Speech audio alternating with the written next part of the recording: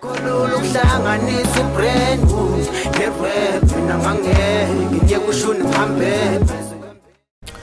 Molo mahluba inibingeleli igama lami ngingudawud waphungulama ukhona enkundleni yokuxhumana i-Instagram it's at king underscore langabi. Abafowethu umlingisi wakuleli lapha likhona ichiyomo uphumela obala-ke ngokuthi laphana-ke ukuwaba-ke nemicabango laphana-ke yokuzibulala. Ukhona ekhuluma-ke emngcwabeni laphana-ke siyabonga zubane. Uthena-ke laphana wayenezibonakaliso zakhe enqunywa kuvele-ke amathumbu laphana-ke ehleli ngaphandle. Uthena-ke ngumthandazi wamsizi emoyeni-ke emibi eyayimtshela ukuthi laphana-ke makazibulale. Lo mlingisi eneminyaka ngu-70 ubudala odume lapha umhlaba wonke uveze ukuthi le micabango-ke ibiyimayelana-ke nesehlakalo esamehleka ngonyaka ka-1987 ngesikhathi elahlekelwa-ke yona laphana-ke indodakazi yakhe. Kade ekhuluma-ke ngenyanga edlule emngcwabeni womlingisi usiyabonga zubani wazibulala. Ukhona wathi-ke naye lesehlakalo-ke sokuzibulala sacishe-ke samehleka ngonyaka ka-1987 ingane yakhe yashona-ke laphana-ke sayifunza. Emva kwaloko kwaba-ke lapha nemicabango laphana kuyozibulala. Uma-ke izinto-ke zenzeka kanje uyaqonda ukuthi laphana-ke zenzeka kanjani-ke? Wathi ngalesa sikhathi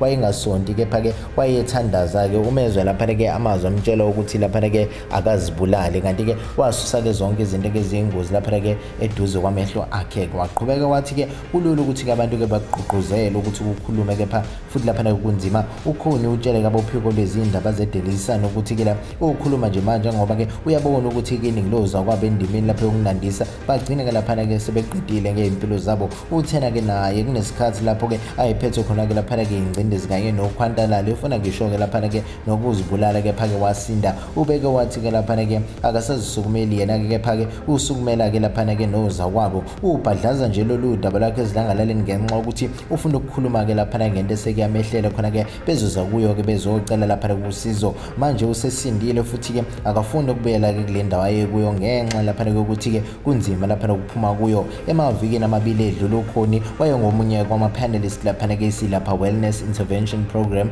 e-freedom park laphana-ke epitoli. Usanda-ke kugubha iminyaka engu-70 ubudala lapho enza khona-ke isiphihli sephathi engungwe ngabomndeni umndeni kanye-ke laphana-ke nozakwabo ukhoni-ke usevele-ke lapha kumafilimu aphezulu akuleli naphesheya kwezilwandle. Kuwo-ke kubalwa-ke black panther black is king kanye-ke neblessy kanti-ke laphana kumabonakude wavela-ke lapha kuhlelo izone 14 redam city kanye-ke nawo umdlalo laphana kulochungechunge igomora mina ngana kwethu ngizofisa ukwazi ukuthi-ke lithini lwakho. Bayelana ke nalo lolu kwi-comment section. Ungakhonda ukucinezela like button ne-subscribe button ungilandela ke kwi-instagram at king underscore langabe for me.